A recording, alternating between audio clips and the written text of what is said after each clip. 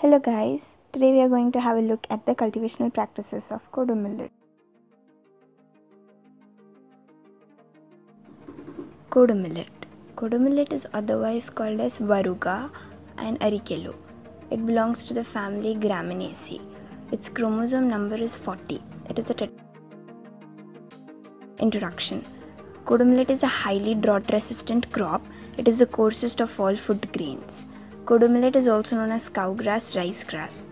The native paspalum or Indian cowgrass originates in tropical Africa and it is estimated to have been domesticated in India 3000 years ago. The grain is covered with a horny seed coat which should be removed before. In India, it has been grown in Rajasthan, Uttar Pradesh, Tamil Nadu, and Andhra Pradesh. It is cultivated over an area of 1.96 lakhs per hectare with total production of about 0.84 lakh tons and with productivity of 429 kg per hectare. Now let us have a look at the botany of kodo millet. Kodo millet is a monocot. It is an annual grass that grows to a height of approximately 4 feet. It has an inflorescence that produces 4 to 6 racemes that are 4 to 9 centimeters long. Slender green leaves which grow about 20 to 40 centimeters in length.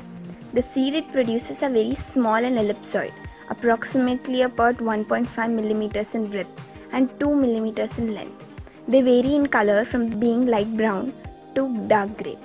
Kodo millet is a shallow root system and it is ideal for intercropping.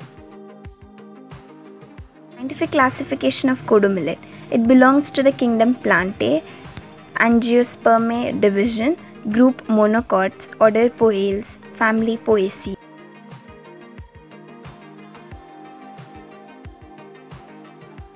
Nutritional values of Kodo millet. It contains about 8.3% protein, 1.4% fat, 65.6% carbohydrate, 2.9% ash. The fiber content of the whole grain is very high. The phosphorus content in kodo millet is lower than any other millet. Straw is very poor in quality and harmful to horses. Some of its species are used for pasture and forage to check soil erosion due to its binding capacity. The grain is recommended as a substitute. Origin and distribution. Kodo millet is a very old crop. There is a mention of it in ancient literature of India. Areca is grown mostly in AP, Maharashtra, Karnataka, Tamil Nadu, and Uttar Pradesh. Areca is probably originated in Southeast Asia. There are a lot of varieties of kodo millet. Some of them are as follows.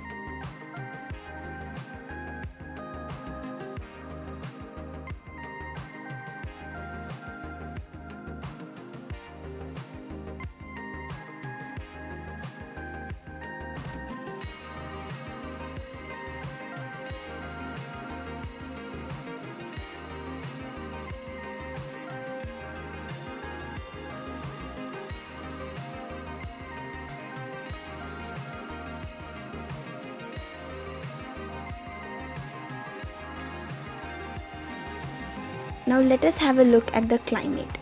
Kodo millet is grown mostly in warm and dry climate. It is highly drought tolerant and therefore can be grown in areas where rainfall is scanty.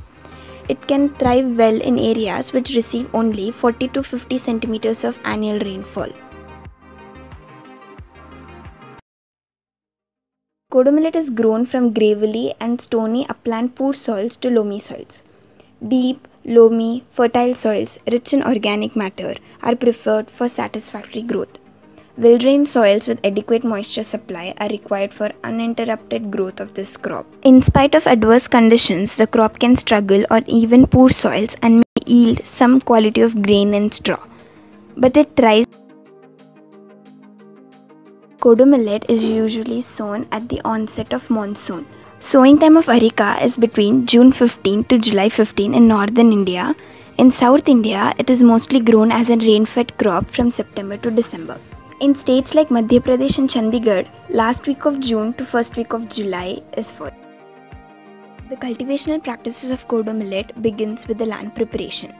The land should be prepared well before the onset of monsoon by ploughing it 3 to 4 times to get a good tilt which will enable it to retain enough moisture. With the onset of monsoon, Field should be harrowed or ploughed with a log plough or country plough, followed by planking. Finally, the field should be leveled. Before taking up sowing, the seeds are treated with biofertilizers to avoid infection by fungus.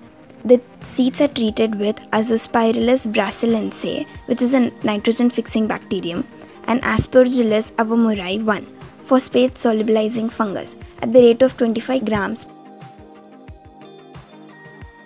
The seed rate and spacing of kodo millet are as follows. The spacing adopted for this crop is 22.5 centimeters between rows and 10 centimeters between plant.